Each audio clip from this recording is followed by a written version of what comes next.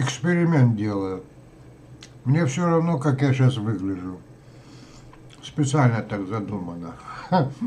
Насколько я могу быть таким небрежным к зрителю. А на самом деле времени нету просто покушать. Ну, постоянно звонки долбят. Особенно сейчас этим мозговым штурмом. Видите, как я, да? А мне все равно, как я. Эксперимент делаю. Теперь послушайте, свет поставлю, во, чтобы меня больше видно было. Мозговой штурм делается так. У него есть определенная логика, определенная схема, которую вы сразу поймете. Во-первых, там есть несколько стадий. Стадия, когда команда получает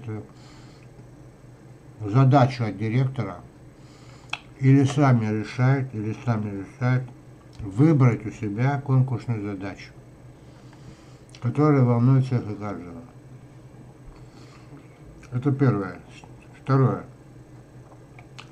Нужен творческий подход. Что такое творческий подход? Это способность сосредотачиваться на поиске наиболее простого решения сложной задачи, но через призму высших человеческих ценностей.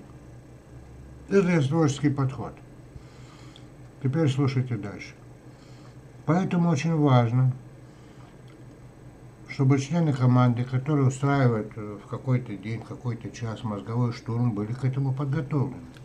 Во-первых, они определились конкурсной задачей или поняли ее, обговорив с директором, который эту задачу назначит, поставит, вменит им решить. А мозговой штурм э, – это механизм, инструмент решения этой задачи за максимально короткое время – самым комфортным для всех образом, потому что все при мозговом штурме еще лучше начинают познавать себя и чего они хотят и как лучше этого достичь. Это очень интересно, и коллектив спаивается. Не спивается, а спаивается. И потом один, раз попробовав таким образом, они могут потом и другие задачи решать таким образом. И каждый из них в отдельности тоже может так решать задачи свои за минимальное время оптимальным способом. Теперь самое интересное. У нас же метод ключ построен на изучении феноменологии. Я учился у природы, мы учимся у природы и с помощью приемов и выяснения, какие инстинктивные действия делает человек, и сознательного их применения получать те же результаты. Например, я изучаю психологию гениев и великих людей, величайших людей планеты. Ну, разными источниками, но это не важно. Дело не в этом, это мои проблемы. Вопрос в том, что у гения есть одна особенность, которая называется триада. Я ее так назвал. Триада. То есть три свойства. Первая способность. Он необыкновенно эмоционально подвижен – это что такое? Это позволяет какую-то проблему, какой-то вопрос, э, который у него там крутится, а, эмоции меняются, обстреливать эту проблему с разных точек зрения. Как бы ее смотреть с разных сторон. Потому что когда у вас розовые очки, вы видите мир розовым, когда черные очки, видите черным. А вот у него там много эмоций постоянно, он очень эмоционально подвижен, лобилен, как говорят он имеет возможность обстреливать проблемы с разных сторон. Второе качество – это способность быть максимально сосредоточенным, уметь максимально сосредотачиваться. Ну, поэтому они часто рассеяны, не знают, куда что положили, забывают там номер телефона или что такое. Ну, как бы немножко чудаки, но так обычно, так и в кино, так их показывали рассеянными, когда пуговички не так застегнуты, там вместо сандалии на одной ноге сандалия, а на другой ботинок. Ну, это смешно, когда такого академика показывают. Но это в кино было так раньше. А третье? А мы уже говорили, да? творческий подход. Это способность сложной проблеме найти наиболее простое решение через призму высших человеческих ценностей. Вот третье в этой триаде – это как раз-таки способность думать не только о себе, но и о человечестве. То есть это и есть человеческая норма, когда человек болеет не только о себе, но и о близких, о человечестве. И чем выше масштаб его личности, тем от большего горизонта, за что он переживает. Да. Вот эта способность. Поэтому у метода Сильвы, например, есть такое, когда они пытались за короткое время решить какие-то важные задачи, я где-то читал или мне рассказывали, что он говорил, что гении или вы старайтесь думать о том, чем бы вы могли помочь человечеству. Это развивает вас.